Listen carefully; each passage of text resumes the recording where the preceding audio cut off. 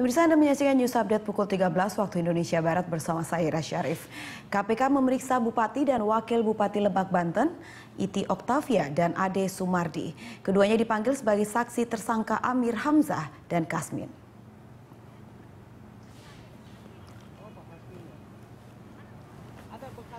Bupati Lebak Iti Oktavia tiga, tiba di gedung KPK sekitar pukul 9 pagi.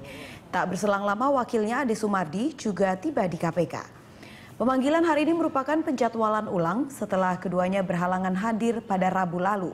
Iti Oktavia dan Ade Sumardi bersaing dengan Amir Hamzah dan Kasmin dalam Pilkada Lebak pada tahun 2013 lalu.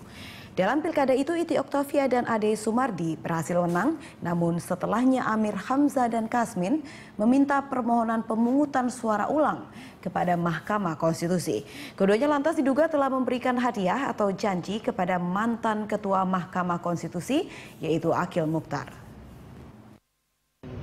Oh, kayak Amir Hamzah dengan Kasmin ya? Oh, Pak Kasmin ya.